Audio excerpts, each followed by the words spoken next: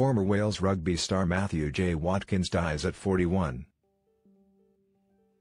The Welsh international had been battling a long illness after being diagnosed with a rare form of pelvic cancer seven years ago. Former Wales rugby star Matthew J. Watkins has died at the age of 41. The International Rugby Union player had been battling a long illness after being diagnosed with a rare form of pelvic cancer seven years ago. He leaves his wife Stacey and his son Ciaran Tal. A statement from Dragons, one of Matthew's former teams, said, Everyone at Dragons Rugby is deeply saddened at the passing of our former player Matthew J. Watkins at the age of 41.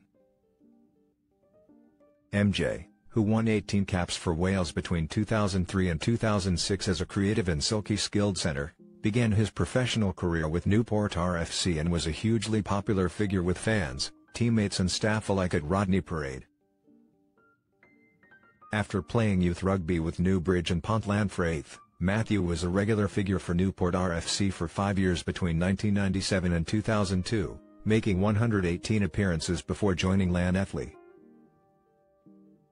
He went on to make over 100 appearances for the Scarlets and also played for Gloucester before coming home in 2009 when he signed for the Dragons. Their statement continued, Matthew's experience, leadership and talent was a great asset to our team before his retirement from the sport in 2011.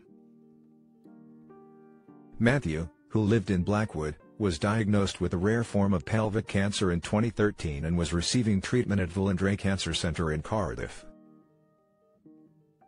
Despite his diagnosis, Matthew was determined to help raise money and awareness for the hospital and raised hundreds of thousands of pounds with two grueling bike rides across the USA. Most recently he had been rallying everyone to support a campaign by Cancer Research UK for World Cancer Day by joining him in wearing a unity band. Matthew will be missed by so many and our sincere condolences go out to Matthew's wife Stacey, his sons Ciaran Tal, family and friends. The thoughts of everyone at Dragons Rugby are with them all at this very sad time. A statement from Scarlets also said that Matthew is fondly remembered as a silky skilled, creative midfielder, who is a hugely popular figure among our supporters, the playing squad and staff at Stradey.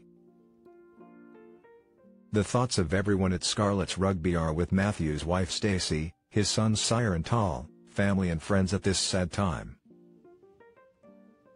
Matthew retired in 2011 before announcing his cancer diagnosis. He then went on to put his efforts into fundraising for cancer charities. The centre player started his career at Newport RFC and went on to play for Llanelli, Gloucester, and Wales.